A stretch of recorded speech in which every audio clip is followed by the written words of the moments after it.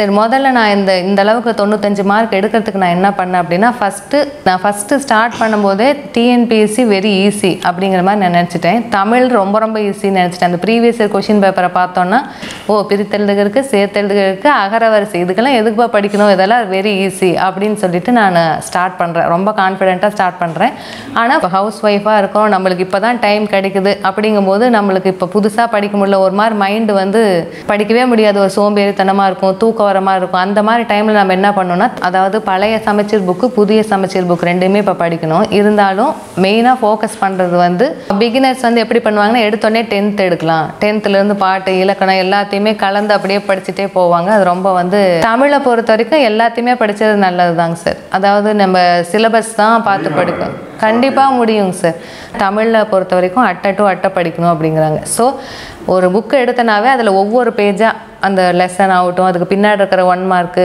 மேலும் தெரிந்து கொள்கன்னு இந்த மாதிரி எக்ஸ்ட்ரா இன்ஃபர்மேஷன் என்னென்னலாம் இருக்குதோ எல்லாத்தையுமே வந்து கவர் பண்ணிடுவேன் ஒவ்வொரு பேஜாக வந்து கவர் பண்ணிகிட்டே போவேன். அப்புறம் ஒரு சிக்ஸ்த்து புக்கை படிக்கிறதுக்கு ஒன் ஹவர்லேயே வந்து முடிச்சிடலாம். எதை செய்யவே கூடாதுன்னா இந்த ஸ்கூல் புக்ஸை தாண்டி எக்ஸ்ட்ராவாக இப்போ இந்த தேவிரா புக் கூட படிக்கலாங்க சார் எப்போன்னா ஃபஸ்ட்டு சிலபஸ் ரெண்டாவது ப்ரீவியஸ் இயர் கொஷின் பேப்பர் அதுக்கப்புறம் அதில் ஒரு லெவலுக்கு வந்த பின்னாடி தான் என்னை கேட்டால் புக்கையே தொடணும். செய்யுள் வந்து நான் அந்த பாட்டையே வாய் விட்டு அப்படியே படித்து பார்ப்பேங்க சார் அப்படி படிக்கும்போதே எனக்கு வந்து அப்படியே ஞாபகம் இருக்கும். இந்த கலித்தொகையில் இந்த ந- இதெல்லாம் இருக்கும் இல்லைங்க சார் அந்த முக்கியமாக இந்த பாரதியார் பாரதிதாசன் இந்த இது வந்து கன்ஃபியூஸ் ஆகும். அந்த லைன்லேயே ஏதாவது ஒரு வார்த்தை வந்து நான் எடுத்துக்குவேன். இப்போ பெண்கள் அப்படின்னு ஏதாவது ஒரு வார்த்தை வரும். இது வந்து சொன்னது பா யூத் பேப்பரின் இனிய வணக்கம் யூத் பேப்பர் நண்பர்கள் அனைவருக்கும் வணக்கம். நான் இப்போ நடந்து முடிஞ்ச குரூப் ஃபோரில் வந்து கிளியர் பண்ணி தௌசண்ட் டுவெண்ட்டி ரேங்க் எடுத்திருக்கேன். Overall rank social welfare and women's எம்பவர்மெண்ட்டுங்கிற டிபார்ட்மெண்ட் வந்து சூஸ் பண்ணியிருக்கேன். பொது தமிழில் வந்து நூற்றுக்கு நூறு எடுக்கிறது வந்து மிக மிக எளிமையான ஒரு விஷயந்தான் அதுக்கு நம்ம வேறு எந்த மெட்டீரியலுமே முதல்ல தேடி போகாமல் இருக்கணும். மெயினாக வந்து ஸ்கூல் புக்ஸ் மட்டும்தான். சிக்ஸ்த்துலேருந்து டென்த் வரைக்கும் படித்தா போதும். நம்ம தமிழை வந்து விடவே முடியாது. ஏன்னா எல்லா கொஷினுமே புக்கிலேருந்து தான் கேட்குறாங்க அப்படிங்கும்போது டுவெல்த் வரைக்கும் நம்ம வந்து முடிக்கிறது தான் ரொம்ப பெஸ்ட்டாக இருக்கும். பிகினர்ஸ் வந்து எப்படி பண்ணுவாங்கன்னா எடுத்தோடனே டென்த் எடுக்கலாம். டென்த்துலேருந்து பாட்டு இலக்கணம் எல்லாத்தையுமே கலந்து அப்படியே படிச்சுட்டே போவாங்க. அது ரொம்ப வந்து கஷ்டமாக தான் இருக்கும். ஃபஸ்ட் எடுத்தோடனே டென்த் எடுக்கும்போது டிஃபிகல்ட்டாக ஃபீல் பண்ணுவாங்க. அந்த மாதிரி தப்பு பண்ணக்கூடாது. சிக்ஸ்த்துலேருந்தே படிச்சுட்டு போகிறது நல்லது. நம்ம ஏன் வந்து டென்த்தில் ஆரம்பிக்கக்கூடாது? சிக்ஸ்த்துலேருந்து ஏன் ஆரம்பிக்கணும் அப்படின்னா ஃபஸ்ட்டு ஒரு எளிமையாக சீக்கிரமாகவே நம்ம சிக்ஸ்த்துங்கும் போது ரொம்ப கம்மி கண்டென்ட்டு நம்மளுக்கு வந்து ஈஸியாகவே புரியும். அப்படிங்கும்போது நம்ம ஒரு சப்ஜெக்டை முடிச்சிட்டோம். ஒரு ஸ்டாண்டர்டை வந்து முடிச்சிட்டோங்கிற ஒரு கான்ஃபிடன்ஸ் கிடைக்கும். அடுத்ததுக்கு போகிறதுக்கு வந்து ரொம்ப ஹெல்ப்ஃபுல்லாக இருக்கும். அதனால் சிக்ஸ்த்துலேருந்து ஆரம்பித்து படிப்படியாக போகும்போது நீங்கள் டுவெல்த்து டென்த் வரைக்கும் முடிச்சுட்டு மறுபடியும் ரிவிஷன் வரும்போது ரொம்ப கான்ஃபிடென்ட்டாக ஃபீல் பண்ணும். அதனால் சிக்ஸ்த்துலேருந்து ஆரம்பிக்கிறது ரொம்ப நல்லது. இதில் நீங்கள் சமச்சீர் புக்கு அதாவது பழைய சமச்சீர் புக்கு புதிய சமச்சீர் புக் ரெண்டுமே இப்போ படிக்கணும். இருந்தாலும் மெயினாக ஃபோக்கஸ் பண்ணுறது வந்து பழைய சமச்சீர் புக்கு தான். ஏன்னா மோஸ்ட் ஆஃப் த கொஷின்ஸ் வந்து இப்போ லாஸ்ட் குரூப் ஃபோரில் பார்த்தீங்க அப்படின்னா பழைய சமச்சீர் புக்கில் இருக்கிறதும் புது சமச்சீர் புக்கில் ரெண்டுலேயும் காமனாக இருக்கக்கூடிய கொஷின் தான் வந்து கேட்டிருந்தாங்க. நான் என்ன சொல்கிறேன்னா பழைய சமச்சீர் புக்கு படிக்கிறது ரொம்ப எளிமை. புது புக்கு கம்பேர் பண்ணும்போது பழசு படிக்கிறது ரொம்ப எளிமை. ஃபஸ்ட்டு நீங்கள் அதை படிச்சிட்டிங்க அப்படின்னா ஏன்னா நம்ம எல்லாருமே ஸ்கூலில் அந்த புக்கை தான் நம்ம படிச்சிருப்போம். இப்போ டிஎன்பிஎஸ்சிக்கு படித்தவங்க பழைய சமச்சீர் புக் கிடைக்கலன்னா கண்டிப்பாக பிடிஎஃப் இருக்குது டவுன்லோட் பண்ணி நம்ம ஜெராக்ஸ் பிரிண்ட் அவுட் போட்டுக்கலாம். எனக்கு பழைய சமச்சீர் புக் புக்கு இருந்தது. முதல்ல நான் ஸ்டார்டிங் என்னோடய ப்ராசஸே வந்து பழைய சமச்சீர் புக்கில் தான் ஆரம்பித்ததுனால எனக்கு வந்து அது ரொம்ப ரொம்ப எளிமையானது. ஏன்னா நான் ஸ்கூலில் அந்த புக்கு தான் படிச்சிருந்தேன். எடுத்து நான் படிக்கும்போது எல்லாமே என்ன சொல்கிறது ஒரு பசுமரத்தாணி போல் மொத எடுத்தோடனே நான் படிக்கிறேன் ஈஸியாக கவர் பண்ணுறேன் தமிழை பொறுத்த வரைக்கும் எல்லாத்தையுமே படித்தது நல்லது தாங்க சார் அதாவது நம்ம சிலபஸ் தான் பார்த்து படிக்கும் கண்டிப்பாக முடியுங்க சார் அதாவது த பழைய சமச்சீர் புக்கில் வந்து அந்த லெசன்லாம் பின்னாடி உரைநடை தனியாக கொடுத்துருப்பாங்க. அதை வேணால் ஸ்கிப் பண்ணிடலாம். முன்னாடி இருக்கிற அந்த ப்ளஸ் ஒன் ப்ளஸ் டூவில் மட்டும். பின்னாடி உரைநடை கொடுத்துருப்பாங்க. அதை ஸ்கிப் பண்ணிவிட்டு முதல்ல செய்யுள் அதெல்லாம் தனியாக முன்னாடி இருக்கும் மறுமலர்ச்சி பாடல்கள் வரைக்கும். அது வரைக்கும் நம்ம வந்து கண்டிப்பாக படிச்சிடணும் சார் அதாவது சிலபஸில் இல்லாததை கூட தமிழ் படிக்கணும்னு தான் நான் சொல்கிறேன் சப்போஸ் ஏதாவது ஒரு ஆத்தர் பேர் வந்து அந்த சிலபஸில் இல்லைன்னா கூட ஆனால் அந்த புக்கில் இருக்கும்போது நம்ம வந்து அந்த கண்டிப்பாக இது பண்ணோம் தமிழை பொறுத்த வரைக்கும் நான் எந்த தப்புமே பண்ணலன்னு சொல்லணும். ஜிஎஸ் பார்ட்டில் தான் நான் தப்பே பண்ணியிருக்கேன். நான் வந்து டிஎன்பிஎஸ்சியில் ரெண்டையும் கவர் பண்ணும் அப்படிங்கிறத தான் விட்டுட்டேன். தமிழ் ஈஸி எனக்கு உடனே முடிச்சிட்டேன். ஆனால் அடுத்தது ஜிஎஸ் பார்ட்டில் நான் எதுக்கெல்லாம் இம்பார்ட்டன்ஸ் கொடுக்கணும்? மேக்ஸுக்கு பாலிட்டிக்கு அப்படிங்கிறதுல தான் நான் மிஸ்டேக்கே பண்ணேன். தமிழ் எடுத்தோடனே நான் நல்லா படிச்சிட்டேன். ஃபஸ்ட் டைம் எடுக்கும்போதே நான் நோட்ஸ் எழுதிட்டேன் பழைய புக்கை. என்ன நினச்சேன்னா எனக்கு நான் ஃபஸ்ட்டு ஸ்டார்ட் பண்ணும்போதே டிஎன்பிஎஸ்சி வெரி ஈஸி அப்படிங்கிற மாதிரி நான் நினச்சிட்டேன். தமிழ் ரொம்ப ரொம்ப ஈஸின்னு நினச்சிட்டேன். அந்த ப்ரீவியஸ் இயர் கொஷின் பேப்பரை பார்த்தோன்னா நான் சரியாக பக்கத்தில் லேட்டஸ்ட்டாக முடிஞ்சதை பார்க்காம ஏற்கனவே ஏதோ ஒரு கொஷின் பேப்பரை மட்டும் பார்த்துட்டேன். பார்த்துட்டு ஓ பிரித்தெழுதுகிறதுக்கு சேர்த்தெழுதுகிறதுக்கு அகரவரிசை இதுக்கெல்லாம் எதுக்குப்பா படிக்கணும்? இதெல்லாம் வெரி ஈஸி அப்படின்னு சொல்லிட்டு நான் ஸ்டார்ட் பண்ணுறேன் ரொம்ப கான்ஃபிடென்ட்டாக ஸ்டார்ட் பண்ணுறேன் ஆனால் ஃபுல் ஃப்ளெஜ்டாக ஒரு சீக்கிரமாக படிக்கணும். இந்த எக்ஸாமுக்குள்ளேயே முடிக்கணும் அப்படிங்கிற மாதிரி நான் நினைக்காம டைம் இருக்கிறப்ப படிக்கலாம். இப்படி படித்தாவே நம்மளால் முடிச்சிட முடியும். அப்படிங்கிற மாதிரி டைம் வந்து கம்மியாக கொடுக்குறேன். அப்புறம் ஃபஸ்ட் எடுத்தோடனே சிக்ஸ்த்துலேருந்து தான் ஆரம்பிக்கிறேன். சிக்ஸ்த்துலேருந்தே எல்லா பாட்டும் ஒரு பாட்டு படித்து அதுக்கான பொருள் அந்த அறிஞர் பொருள் எல்லாமே வந்து படிச்சிருவேன். சிலது வந்து அந்த பாடலையே மனப்பாடம் பண்ணிடுவேன் மனப்பாடம் மீன்ஸ் அதை ஒரு ரெண்டு தடவை வாசிச்சாவே போதும். மெமரியாக எல்லா பாட்டும் ஒரு நாலு வரி பத்து வரி இருக்குதுன்னா அப்படியே வந்து நம்ம படிக்க முடியாது. ஆனால் அந்த லைனை வந்து ரீட் பண்ணிட்டு தான் போவேன். நான் ஸ்கிப் பண்ணிட்டு போக மாட்டேன். இப்போ எப்படின்னா ஒரு ஒரு லைன் கொடுத்து அதுலேயே வந்து கேப் விட்டு அந்த மாதிரி கேட்பாங்க. திருக்குறள் அந்த மாதிரியெல்லாம் கேட்பாங்க அப்படிங்கிறதுக்காக நான் வந்து அதை ஸ்கூல்லேயே நம்ம படித்த பாட்டாக இருக்கிறனால எனக்கு வந்து அதை அவாய்ட் பண்ணுறதுக்கு வந்து மனசே வரல.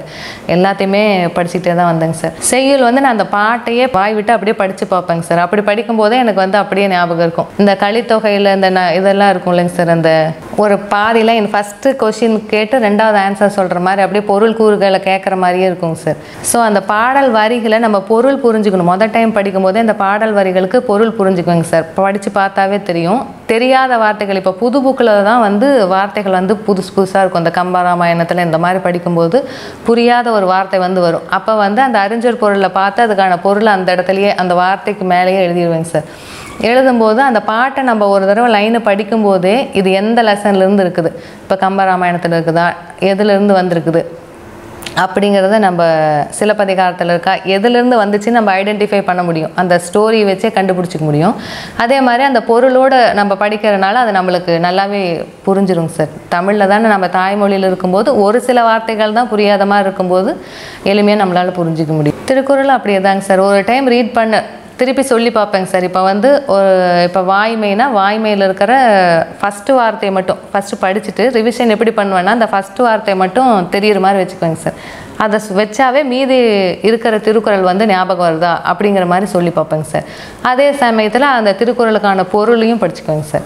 முக்கியமாக இந்த பாரதியார் பாரதிதாசன் இந்த இது வந்து கன்ஃபியூஸ் ஆகும். அந்த லைன்லேயே ஏதாவது ஒரு வார்த்தையை வந்து நான் எடுத்துக்குவேன். இப்போ பெண்கள் அப்படின்னு ஏதாவது ஒரு வார்த்தை வரும். இது வந்து சொன்னது பாரதிதாசன். இந்த லைன்லேயே நான் ஒரு வார்த்தையை நினச்சிக்குவேன். இது பாரதிதாசன் நானாக அதாவது இதுக்கெல்லாம் தமிழுக்கு பொறுத்த வரைக்கும் நான் ஷார்ட் கட்ஸோ வேறு எந்த வீடியோஸ்க்கோ வந்து போனதில்லை. அப்படியே தான் படித்தேன் தமிழுக்கு பொறுத்த வரைக்கும் நம்ம நம்மளுக்கு ஒரு யூடியூபோ மற்ற ஒரு ஹெல்ப்போ கைடன்ஸோ வந்து தேவைப்படாது. நம்ம வந்து ஸ்கூல்லேருந்தே தமிழ் வழியில் படித்தவங்களுக்கு கண்டிப்பாக தேவைப்படாது. நம்ம சிக்ஸ்த்துலேருந்தே ஆரம்பித்து படிப்படியாக ஒரு நாளைக்கு ரெண்டு லெசன் இந்த மாதிரி படிச்சுட்டு வந்தோம்னா கூட ஒரு ஒன் வீக்லேயே நம்ம ஒரு வந்து ஒரு புக்கை முடிச்சிருவோம். மறுபடியும் அதை ரிவிஷன் பண்ணிக்கிட்டே அடுத்ததை வந்து நம்ம ஸ்டார்ட் பண்ணும்போது அடுத்த புக்கை ஸ்டார்ட் பண்ணும்போது ரொம்ப ஈஸியாகவே வந்து நம்ம தமிழை வந்து முடிச்சிட முடியும். ஒரு டைம் நம்ம தமிழை முடிச்சிட்டோம்னா அதோட ஜிஎஸ்சியும் ஸ்டார்ட் பண்ணிக்கலாம்.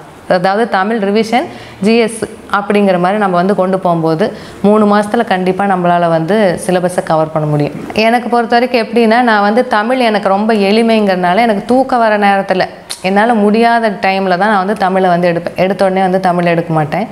அதுக்கு எப்படி நான் பண்ணுவேன்னா இப்போ நான் உரைநடைக்கு ஒரு தடவை செய்யுளுக்கு ஒரு தடவை இலக்கணத்துக்கு ஒரு தடவை அப்படியெல்லாம் படிக்க மாட்டேன். ஒரு புக்கு ஏன்னா தமிழில் பொறுத்த வரைக்கும் அட்டை டு அட்டை படிக்கணும் அப்படிங்கிறாங்க. ஸோ ஒரு புக்கு எடுத்தனாவே அதில் ஒவ்வொரு பேஜாக அந்த லெசன் ஆகட்டும் அதுக்கு பின்னாடி இருக்கிற ஒன் மார்க்கு மேலும் தெரிந்து கொள்கன்னு இந்த மாதிரி எக்ஸ்ட்ரா இன்ஃபர்மேஷன் என்னென்னலாம் இருக்குதோ எல்லாத்தையுமே வந்து கவர் பண்ணிடுவேன். ஒவ்வொரு பேஜாக வந்து கவர் பண்ணிகிட்டே போவேன். ஃபஸ்ட் டைம் படிக்கிறப்ப இந்த பென்சில் அண்டர்லைன் பண்ணி அப்படியே படிப்பேன். செகண்ட் டைம் படிக்கிறப்ப ரொம்ப இம்பார்ட்டண்ட்டாக இருக்கிறத அந்த பென்னால் அண்டர்லைன் பண்ணிடுவேன்.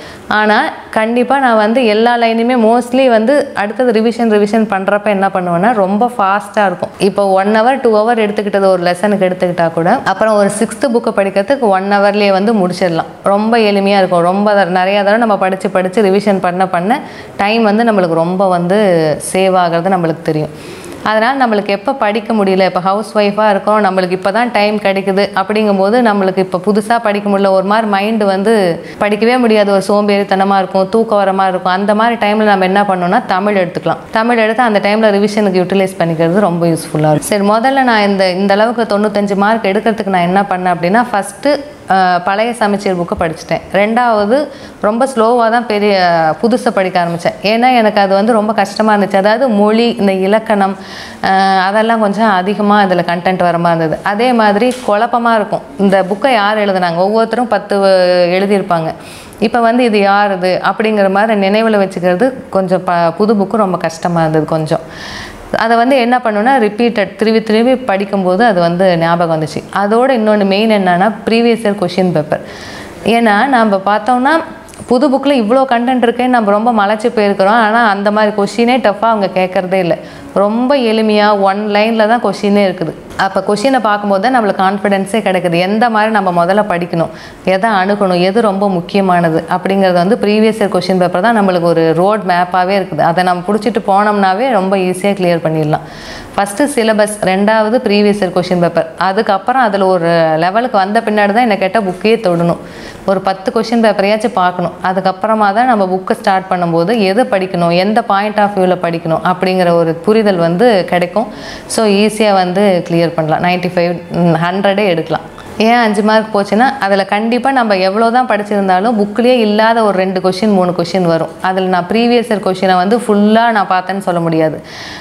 கொஞ்சம் பக்கமாக லேட்டஸ்ட்டாக முடிஞ்ச ஒரு பத்து கொஷின் தான் பார்த்தேன். அதில் நான் சரியாக ப்ரீவியஸ் இயர் கொஷின் பார்க்கல. அது ஒன்றுங்க சார் இன்னொன்று என்னென்னா நம்மளோட பதட்டம். தெரிஞ்சே இருக்கும். நம்மளுக்கு ஈஸி இந்த கொஷினா இது எனக்கு இதுதான் ஆன்சருன்னு சொல்லி இருந்திருப்போம். ரொம்ப எளிமையான கொஷினை வந்து ரொம்ப க அசால்ட்டாக போட்டது. முழுமையாக ரீட் பண்ணி அந்த பொருளை வந்து உணராமல் தெரிஞ்ச கொஷினே தப்பு பண்ணுறது இந்த மாதிரி பண்ணதில் தான் அஞ்சு மார்க் வந்து தமிழில் நூற்றுக்கு நூறு எடுக்கணும்னா நீங்கள் வந்து அந்த ப்ரீவியஸ் இயர் கொஷினை ஃபஸ்ட்டு நல்லா தினமுமே ஒரு ஆஃப் அன் ஹவர் வந்து ப்ரீவியஸ் இயர் கொஷினை பார்க்கணும். ஃபுல்லாகவே டிஎன்பிஎஸ்சி வெப்சைட்லேயே இருக்குது. ஃபஸ்ட் எடுத்தோடனே நீங்கள் ஒரு ஃபோல்டர் ஓப்பன் பண்ணி தமிழுக்குன்னு ஒரு ஃபோல்டர் ஓப்பன் பண்ணி அதாவது டூ தௌசண்ட் தேர்ட்டீன்லேருந்தே இருக்குதுன்னு நினைக்கிறேன். அப்போயில் இருக்கிற எல்லாவோட ப்ரீவியஸ் கொஷினும் டவுன்லோட் பண்ணி வச்சுக்கிட்டு டெய்லியும் ஆஃப் அன் ஹவர் வந்து தமிழுக்கு ப்ரீவியஸ் இயர் கொஷின் பேப்பருக்கு ஒதுக்கணுங்க சார் அதுக்கப்புறமா தான் படிக்கவே ஆரம்பிக்கணும்.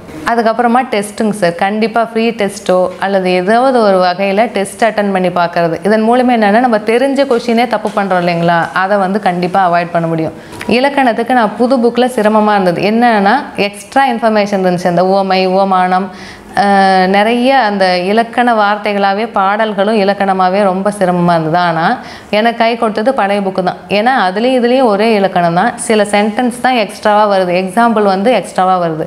ஸோ நான் மெயினாக நம்பினது வந்து பழைய புக்குடைய இலக்கணம் தாங்க சார். கண்டிப்பாக இலக்கணத்துலலாம் நம்மளுக்கு கண்டிப்பாக கன்ஃபியூஷன் வருங்க சார். இப்போ பண்பு தொகையா இல்லை அந்த செய்யப்படுவினை செய்யப்பாட்டு வினை இந்த மாதிரி இருக்கிறது. அல்லது வேற என்னன்னா அந்த தொடர் இலக்கணத்தில் தான் நம்மளுக்கு கன்ஃபியூஷனே வருங்க சார் இல்லைன்னா அந்த ஆத்தர்ஸில் கன்ஃபியூஷன் வரும். அப்போ வந்து அந்த படிக்கும் போதே அந்த லைனில் இது நம்மளுக்கு கண்டிப்பாக கன்ஃபியூஸ் ஆகும். இது யார் எழுதுனாங்க? இப்போ வையகமே இந்த பாரதியார் பற்றி கூட வந்திருக்குங்க சார் வையகமேன்னு வரும் இன்னொன்று தமிழகமேன்னு வரும்.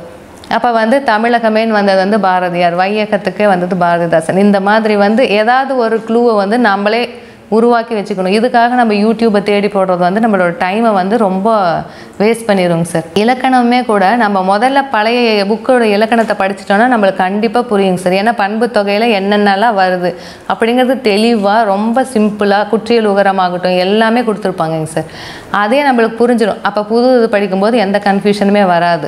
இல்லை எனக்கு புரியல அப்படின்னு சொல்லி நம்ம யூடியூப்பை தேடி போனோம் அப்படின்னா தமிழை பொறுத்த வரைக்கும் ரொம்ப வந்து டைம் கன்சியூம் பண்ணிடும் அதனால் வந்து அது தமிழுக்கு அவாய்ட் பண்ணிக்கிறது நல்லதுங்க சார். எதை செய்யவே கூடாதுன்னா இந்த ஸ்கூல் புக்ஸை தாண்டி எக்ஸ்ட்ராவாக இப்போ இந்த தேவிரா புக் கூட படிக்கலாங்க சார். எப்போன்னா நம்மளுக்கு அந்த தேவை. சிலபஸில் இப்போ இந்த ஆத்தர் கொடுப்பாங்க மீரா.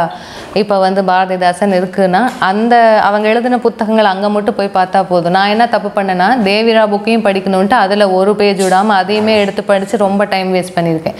அந்த மாதிரி தப்பு பண்ணவே கூடாதுங்க சார்.